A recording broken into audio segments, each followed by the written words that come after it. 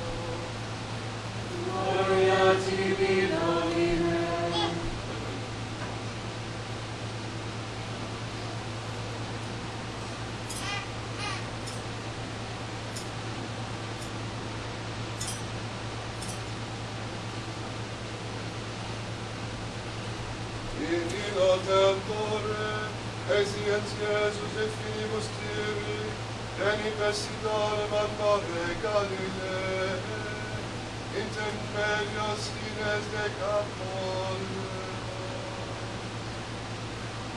Et adum unde solum et mutum, et ebreca montreu, un in bono dilimanum.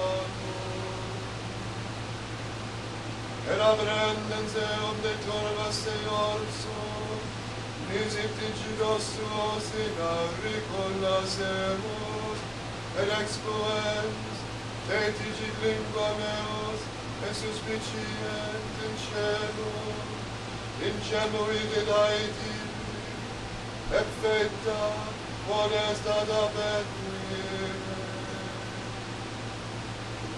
ex cade la peci sundare zelos, ex solutem ex vincundum deus, et loque patur recte. Et recepit ilis, necuit. Quando ad me principie vatandum magis plus predicavat, Ene omnius alimenabat benedicentes, ene omnia feci. Es solos feci da dire, en potasum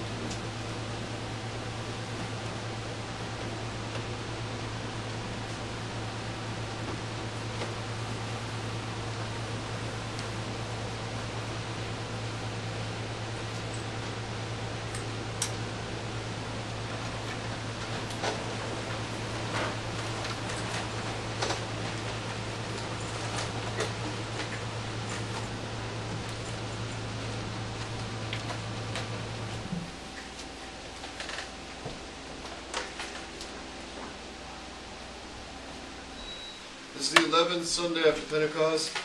The epistle is taken from St. Paul's letter to the Catholics in Corinth, chapter 15. Corinth is a city in Greece.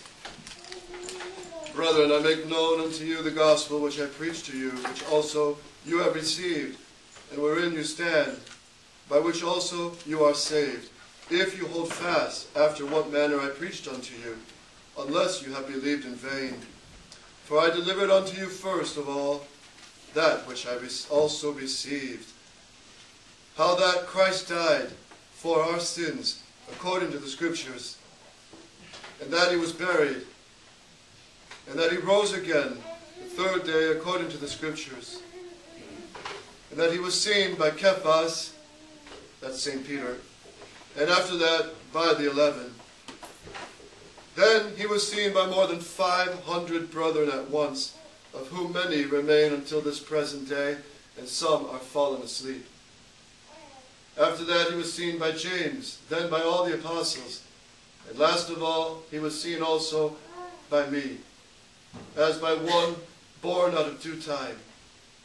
For I, I am the least of the apostles, who am not worthy to be called an apostle, because I persecuted the church of God. But by the grace of God I am what I am, and his grace in me has not been void. The Holy Gospel.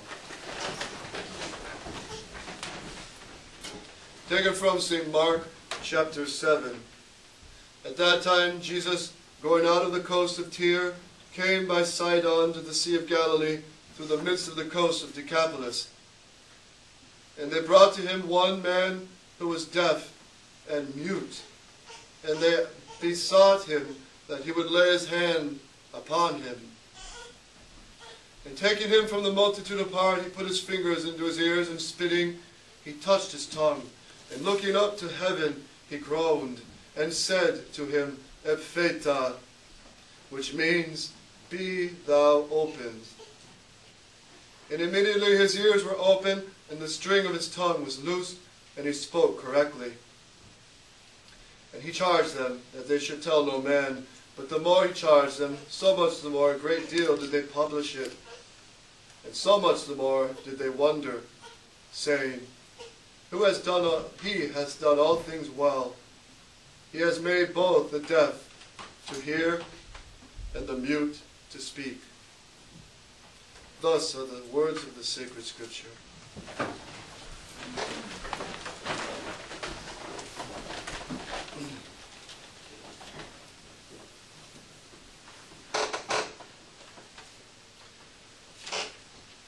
Tomorrow morning there'll be Mass at 8 o'clock in the morning. Tomorrow will be 8 o'clock Mass. Tuesday there'll be Mass at 5.30 in the morning. If you wish to come, and that will, that will initiate officially the pilgrimage of the Catholic martyrs. We will have uh, 13 boys from all over the country coming here, and after the 5.30 Mass and a quick breakfast, they will be on the road for a three-week adventure. Among the many adventures will be seeing the site in St. Simon's Island in Georgia, where there were a handful of monks and priests martyred by the Protestants, and some by the Indians. And also, they will we will have mass where the first mass was in 1565 on September 8th, the birthday of the Virgin Mary in St. Augustine, Florida. And there's an altar there facing the ocean, facing the east, uh, around the spot where the, the, the priest who came, uh, I forgot his name, who came from Spain and offered the Mass to thank God. So we will have Mass there.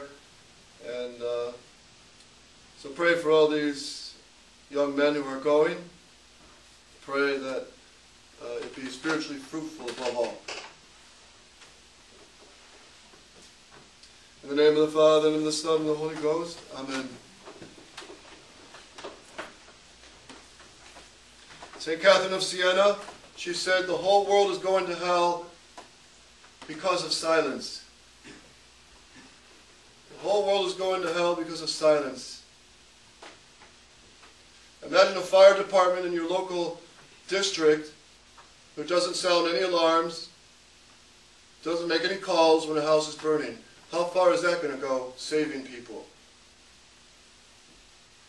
And our Lord ordered the apostles, go preach to all nations. He didn't say dialogue. He didn't say make discussions. He said preach the truth. And the apostles got a clear picture. They were not going to be received with red carpets. They were not going to be received well. They were going to be driven out of towns. And our Lord said, if that happens, then wipe the dust off your feet and move on. He told them, uh, he didn't tell them they're going to have ticket parades. In fact, he said, be ready because they're going to drive you out of the synagogues. They're going to put you to death. And that is the true religion that has been passed down from the apostles, from the popes of tradition, from the councils of the church. And that Catholic faith, which is handed down, cannot be changed. It cannot be compromised. It cannot be adapted to modern times to fit the perverse modern science, for example, evolution. Evolution, which is at the root of modernism, which denies that God is the first cause, which denies substantial forms that God infuses into the matter. That's a philosophical thing, but these are unchangeable realities. And it also uh, puts as a, as a main principle that things are always changing. So that they apply of course, to the ridiculous history of the human race, saying it's billions and billions of years, years old, saying that your great great ancestor was an ape hanging from a tree, that uh, the world came from a huge explosion. It's all the denial of God, and it's all this worship of the principle of change. And that's at the root of modernism, because doctrine, they really believe, can change. And that's at the root of the modern popes, of their, the poison in their heads. That modernism, they really believe truth can change. So what was good for Pope Pius IX, condemning separation of church and state, for example, and Christ the King, proclaiming the kingship of Christ in 1925 by Pius XI, in the time of the Cristeros and the persecutions in Spain. Well, that was good for those days, but for now we have to have democracy, we have to have human dignity, and we have to have religious liberty. And this, this poison in the minds is it, it, it's exactly what the enemies of Christ have, have wanted. And if you don't believe me, listen to their own words. This is taken from the secret letters of the Alta Vendita of the Freemasonic Lodge in Italy. And this was way back in the 1820s. And these letters were uh, discovered, they were given to Pope Gregory XVI and Pope Pius IX. And were they all hung up about, oh, you can't reveal secret letters? No. Because these secret letters they saw were a danger to the faith, a danger to souls. And what did those popes, what did those popes do? They put it on the internet. They put it out there. They publicized it and told the bishops, tear the mask off, these Freemasons. Show the world what they're really up to. And here's their letters. It's very interesting, and it's good for us to be reminded. Because you know what? How many Catholics come before the tabernacle and their mind is out somewhere else? During Mass, their mind is out, football game tonight, or TV show, or who knows what. And here we're here before the living God, the tremendous sacrifice before whom the angels tremble, the devils scream and howl during the Mass. And the Satanists and the Freemasons and the enemies of God, they don't doubt God is here. How many Catholics are priests today? If you took a poll in the United States, most priests, and I speak conciliar church, they don't even believe in the Holy Eucharist. So, the enemies of Christ, they don't doubt. They know He's there. And that's why the Freemasons, it's, it's, it's a ritual. They do get consecrated hosts. They pay high money for them, and they desecrate those hosts. And they often build their monuments, Masonic monuments, including the White House, on top of consecrated hosts. The Eiffel Tower in Paris is built, it is said, on 13 consecrated hosts to show man over God, to show the dominion of man over God. So this is not boogeyman stuff. This is not conspiracy theories. This is revealed openly by the popes who saw the danger to the Catholic Church, who saw the danger to millions and millions of souls. And it's precisely this poison that we are watching now destroying the church right down to her foundations.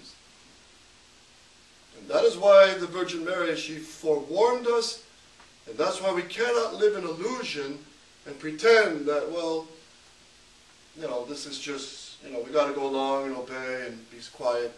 No, we have to fight for the faith and we have to persevere. And even if the Catholics faithful to tradition are reduced to a handful, said St. Athanasius, they still remain the true Church of Jesus Christ. Why? Because we believe what all the Catholics always believed. We do the sacraments the way they've always been done for, for centuries and centuries, established by Christ himself. So listen to his, the words of these um, Freemasons. The Pope, whoever he is, will never come to the secret societies. It is up to the secret societies to take the first step towards the church.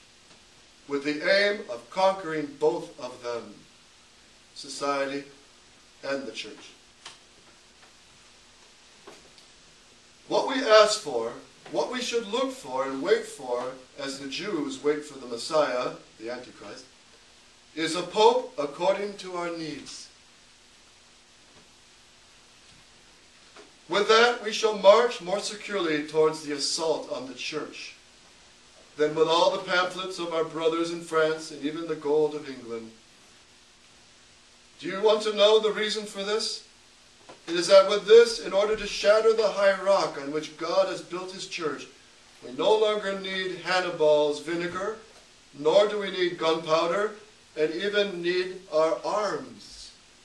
The devil is very slick. He, he knows he doesn't need concentration camps and tanks anymore because there were too many martyrs, too many went to heaven. We have the little finger of the successor of Peter engaged in the plot. And this little finger is as good for this crusade as all the Pope Urban II's and all the St. Bernards in Christendom. I read on. Now then, to assure ourselves a Pope of the required dimensions, it, it is a question first of shaping for him, for this Pope, a generation worthy of the reign we are dreaming of.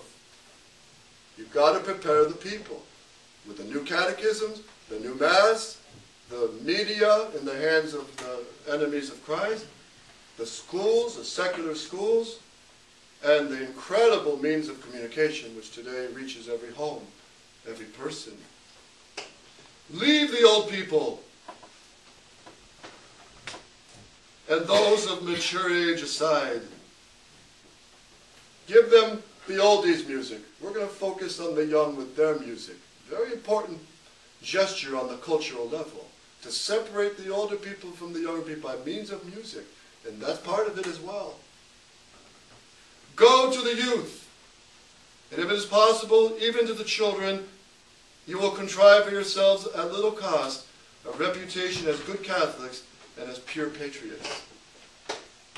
And these are also, they're talking also to the infiltrators within the seminaries as well. Go to the youth, World Youth Day. What happens at World Youth Day? Just look at some of the pictures, the scandals, the if the Blessed Sacrament is truly valid, the Blessed Sacrament of Jesus Christ and the Holy Eucharist is treated like bubble gum. And this your World Youth Day, just a couple of weeks ago, uh, was right on the beach. So you had bikinis coming up for Holy Communion. Did the Pope say anything? No. Did bishops do anything? Absolutely not. And that's not even the worst of it. The worst of it is embracing the Jews, embracing the Muslims, giving the appearance to the world that all the religions are basically the same as long as everyone is nice and sweet and means well. And that is a lie.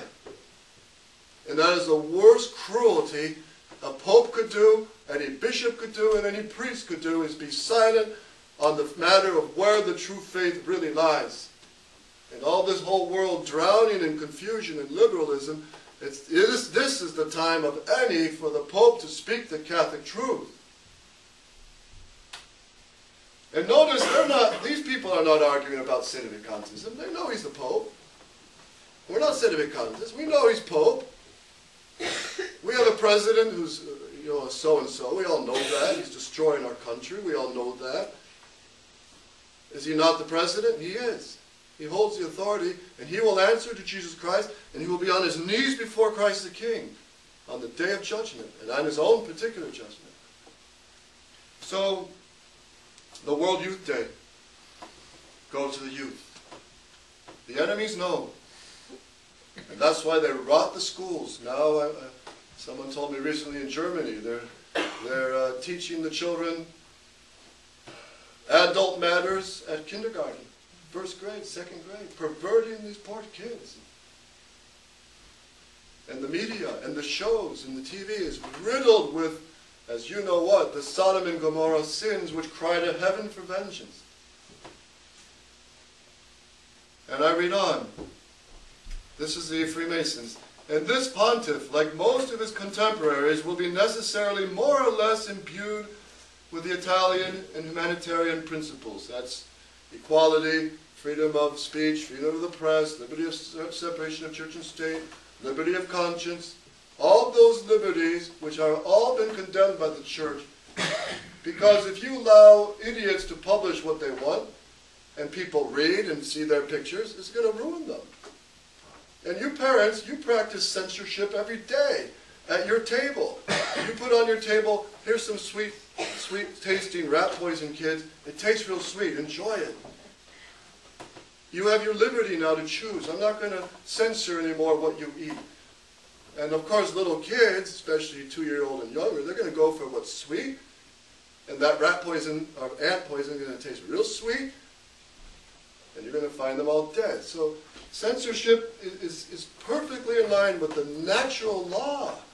Not just because the church condemned these things. And I finally close with this last paragraph. You want to establish the reign of the chosen ones and the throne of the prostitute of Babylon. Let the clergy march under your standard of a liberal pope, always believing that they are marching under the banner of the apostolic keys. That's exactly what is happening right now.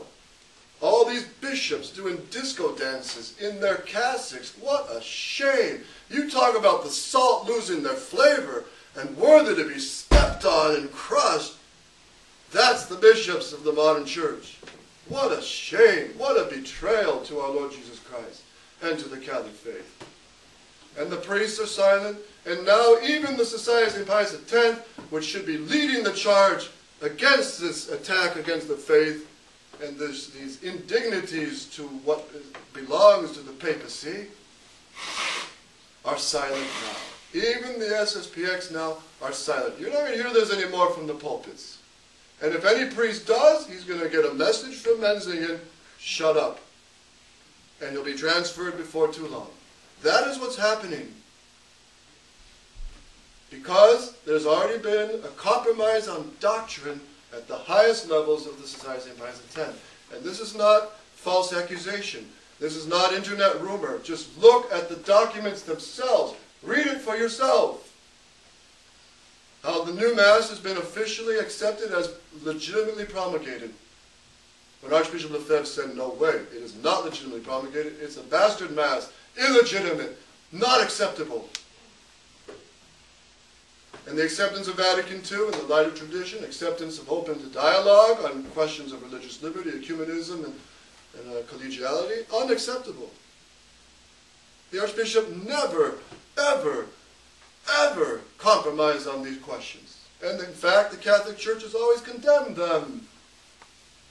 So why is Bishop Fellay, who has never corrected his statements, saying that the errors of the Council, which we thought were from the Council, are not really from the Council? And this confusion, it's, the enemies of the church have, have certainly infiltrated the society, and it was bound to happen. You intend to make the last vestige of the tyrants and the oppressors disappear? This is what the Freemasons say. Lay your snares like Simon Barjona. Lay them in the sacristies, in the seminaries, in the monasteries, rather than at the bottom of the sea. And if you do not hurry, Cardinal Mueller, will be patient with these traditionalists, Pope Benedict XVI. Little by little, we'll bring them back to the conciliar church. Just one step at a time. Very slick. Here's the enemy speaking. And if you do not hurry, we promise you a catch more miraculous than St. Peter's. The fisher of fish became the fisher of men. You will bring friends around the apostolic chair. You will have, a, you will have preached a revolution in tiara and in the cope, marching with the cross and the banner, a revolution that will need to be only a little bit urged on to set fire to the four corners of the whole world. And Archbishop Lefebvre says, this plan is diabolical, straight from hell. It is not only the enemies of the church who have revealed it, it is also the popes who have explicitly unmasked it and foretold it. Again, this is not boogeyman stuff. This is the reality, this is the real picture of what's going on. And that's why, again, we, we need to form our armies, our core around the Blessed Virgin Mary, under her mantle, and we're, otherwise we're not going to make it. So, what happened at World Youth Day? Well, Pope Francis I was interviewed, and something that should make every priest and bishop stand up and say, Enough. And demand this Pope to get on a cart, get on his Pope-mobile in Rome, like happened before, take his shirt off, and whip his back through the streets of Rome for public penance. That happened before. And that's what needs to be done again. Why? Listen to this. When he was questioned about Sodom and Gomorrah sins,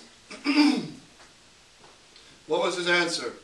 Who am I to judge? He said. Who am I to judge a G-A-Y person of goodwill who seeks the Lord? You can't marginalize these people, he said. Priests? He was asked about priests coming into the seminaries and all that. And this atrocity is, is, was his response. If someone is G-A-Y, I only want to say it because St. Paul says don't even let it be named among you, but it needs to be today.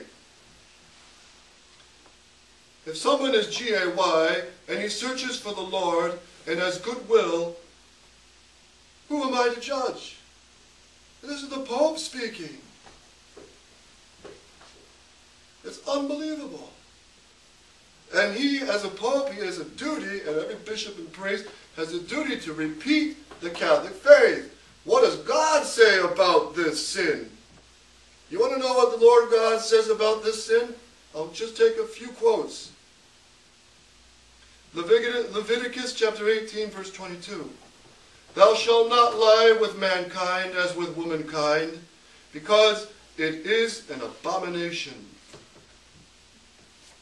Leviticus chapter 18, verse 29. Every soul that shall commit any of these abominations shall perish from the midst of its people. Leviticus chapter 20. Sanctify yourselves and be holy because I am the Lord your God. And then later he says, If anyone lie with a man as with a woman, both have committed an abomination. Let them be put to death, their blood be upon them. And Moses put them to death. And every state, every uh, government in the history of the world would put these people to death if they publicly flaunted it and publicly scandalized others. And if they did not repent, and if they did enough public crime, more serious than murder, they were put to death. It was a capital punishment. And this sin used to always be labeled a psychiatric a mental disease until the 70s when they removed it from the psychiatric journals and called it a normal thing. And we know what God thinks of this. Look at Sodom and Gomorrah.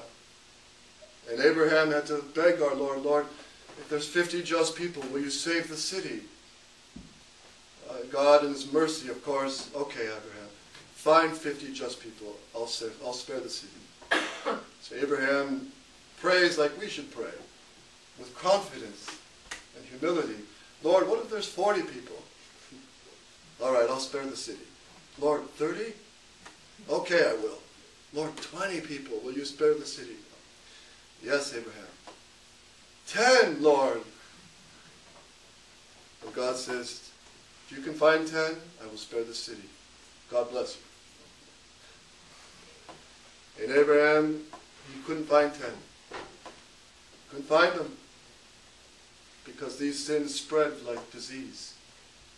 And God sent the two angels who appeared as young men coming to the city.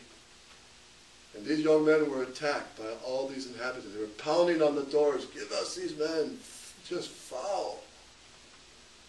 Foul. And the angel said, We're here to escort you out of the city because God's going to destroy it. And uh, you can read those chapters in Genesis. And of course, uh, Lot fled with his family. Lot's wife got curious. God told him, Don't look at my wrath. And Lot's, Lot's wife got curious. She turned to stone. That stone is still standing around the, the Sodom and Gomorrah area. And Sodom and Gomorrah was literally destroyed by fire and brimstone. Nothing grows on it today, not even weeds, except the southern part of the Dead Sea. And uh, we have also in recent history, I mean, recent as, as around Jesus Christ's time, is uh, Pompeii. Pompeii. The scientists all say well, it was an accident, and you know the explosion of this volcano was an accident. They dug up all the. You can look up the history of the city of Pompeii. They had over 25 houses, brothels, and these sins of Sodom and Gomorrah were rampant in those cities. And those cities now are, they were caught sudden destruction upon them. And that's why when the Virgin Mary of Akita says fire will descend from heaven, now we can see why. Because Sodom and Gomorrah's sins cried to heaven for vengeance. And priests who have preached these things from pulpits, and even Protestant preachers, are being arrested and put in prison for hate crimes. And that's very possible for us too. But we cannot shut the truth. The truth must be told. And then St. Paul in Romans 1, chapter 22. He says, God gave them up to the desires of their heart unto uncleanness, impurities, and dishonored their own bodies among themselves, who changed the truth of God into a lie. This is the modern world. They changed the Catholic truth for a, a, conciliar Vatican II lie. Everybody's believing this lie, and now even the Bishop Fellay and the leaders are believing this lie and trying to justify this lie that religious liberty is limited. Vatican II is not so bad. The new Mass is legitimate. Who changed the truth of God into a lie and worshipped and served the creature rather than the Creator, who is blessed forever. Amen. For this cause, God delivered them up to shameful affections a normal affection between a, a man and a woman, between husband and wife, that God blesses, and wants to increase and multiply with many children, that is normal thing. But shameful affections goes against the nature. For their women have changed the natural use into that use which is against nature.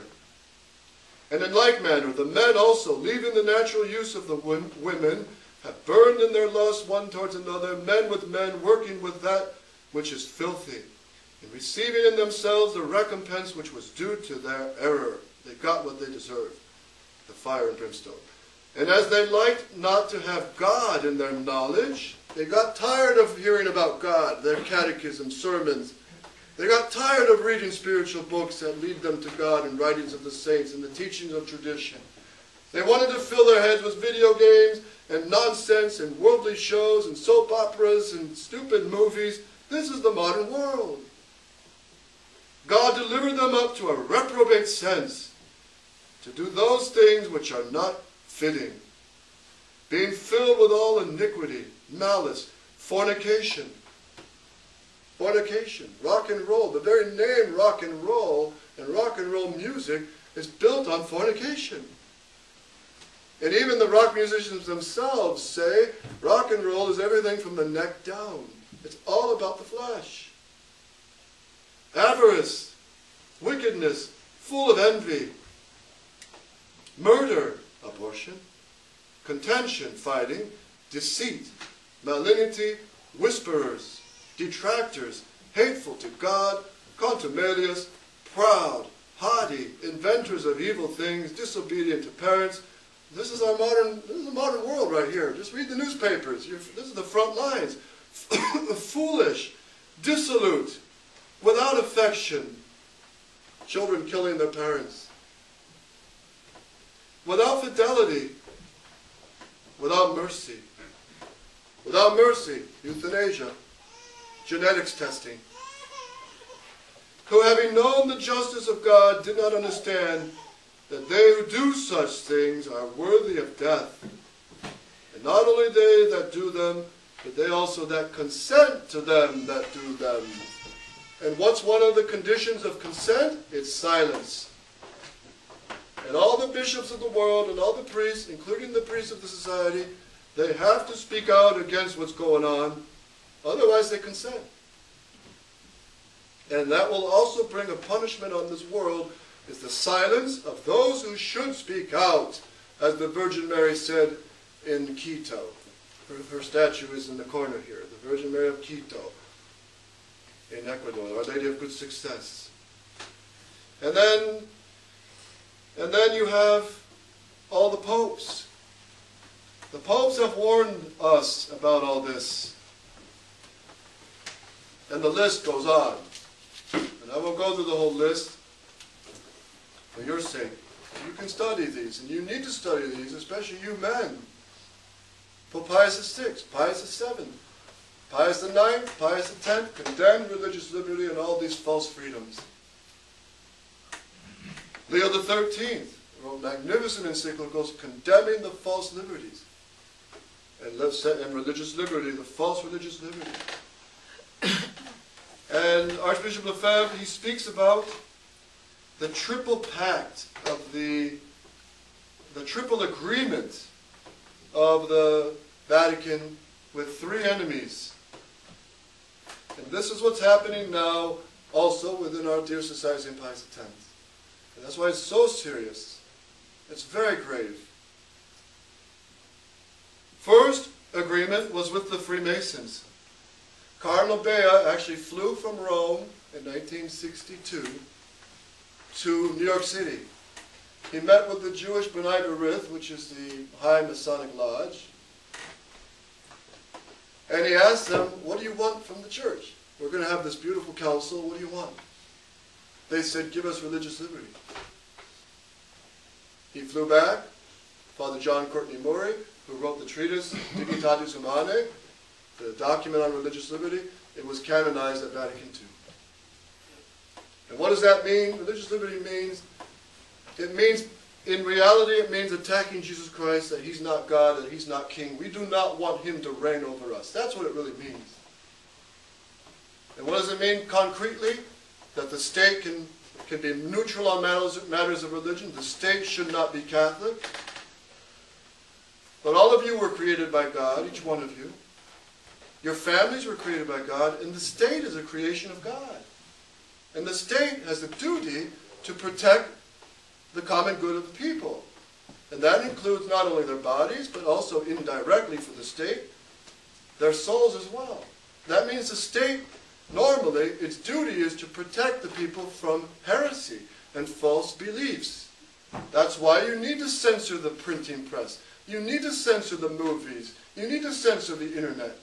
These things need to be censored, but according to the Catholic truth, and not according to the censorship of the enemies of Christ, who censor everything that's of the truth.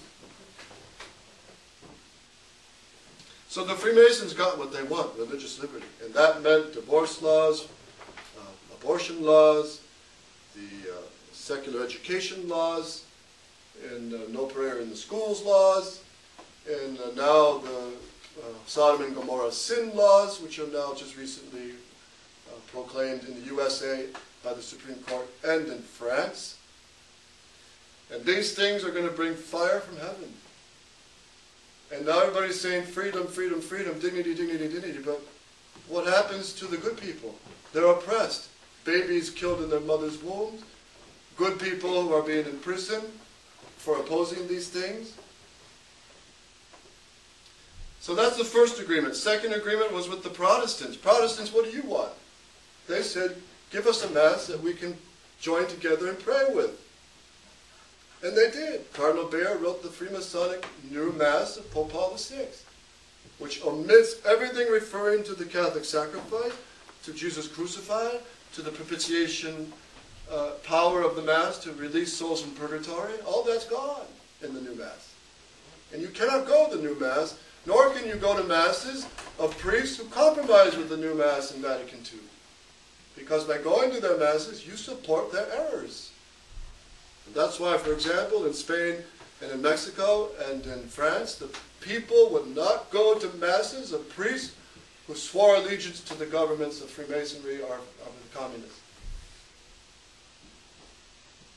So they fit the Mass and the sacraments to please the Protestants. And it's true. Max Thurian was a big, big uh, Protestant leader in, uh, in Europe, in Taizé in France, a big ecumenical place. He said, yeah, we can say now the Mass of Paul VI with no problem. It's all ecumenical. It's all togetherness. And then the third agreement was with the communists. What do you want? The communists said, don't condemn communism. In Vatican II, did they condemn communism?